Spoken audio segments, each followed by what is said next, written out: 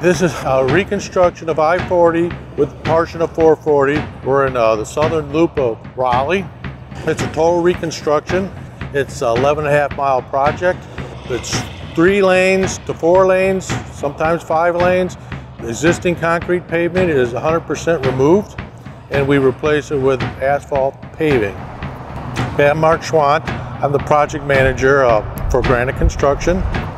The FT40-250 is a single machine. It has a double screen 6x12. The final product is meeting spec for a class 4 base. The 4250 we chose because of the tonnage that they were requiring on this job. It required a bigger machine. The 4250 has a 6x12 two-deck screen on it, which is the biggest in the industry on a track machine, and also being able to continuously crush and move the machine. My name is Chris Worley. I'm the regional sales manager for the Southeast for uh, KPI, JCI, and Astec Mobile Screens. One of the biggest challenges that we had on this site was space. There in the middle of the median, space was tight, so they needed one machine that could do it all for them. Well, we have a narrow, small work area, 11 and a half miles long, and we can leave the material in place as we need it and, and produce it trucking efficiency is greatly improved. The continuous crushing is a requirement for this project. It, it has to happen this way. The other challenge is the dowel bars that were in the material. You know, Granite had some concerns about that. However, after we got the machine out here, ran the material, the magnet did an excellent job of getting the dowel bars and the steel out of the concrete. They're uh, an inch and an eighth by 18 inches. We were very concerned about the crutch's ability to process the dowel bars. The machine has a magnetic belt that sets them off to the side. We pick them up later and we uh, recycle the rebound. And it's worked very well for us. There was not an option to haul this material in the restricted hauling hours that we have, haul it off site, crush it and bring it back in. That was never considered to meet our schedule.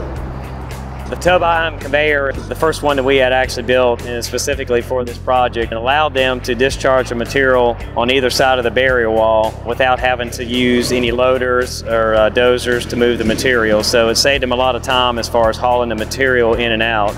They were able to discharge the material right where they were going to be using and paving over top of it. The continuous operation allows the our windrows if we had to stop and shut the machine down before we tracked, it would be shut down every 10 minutes and then you'd have to walk it forward. And there's a time that you have to let the machine idle down. That just was not an option, not with this. The continuous operation, I've estimated, takes at least 12 minutes an hour, so 20% would be down for the machine to stop crushing and to clear the belts, walk forward, start up again. At 20% is at a minimum. Over the life of the project, we saved about four months due to the continuous operation of this machine.